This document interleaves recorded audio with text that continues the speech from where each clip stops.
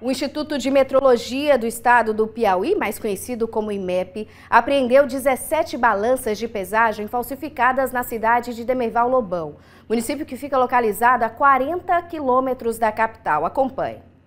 São 17 balanças de pesagem falsificadas apreendidas no município de Demerval Lobão, cidade que fica a cerca de 40 quilômetros da capital Teresina. Segundo o Instituto de Metrologia, as apreensões foram realizadas em comércios e feiras livres da região. O órgão afirma que são balanças importadas, sem a regulamentação do Inmetro, sem lacre e com descrição estrangeira. De acordo com o órgão, essas balanças têm pesagem duvidosa, portanto, potencial para lesar o consumidor no ato de pesagem dos alimentos de compra.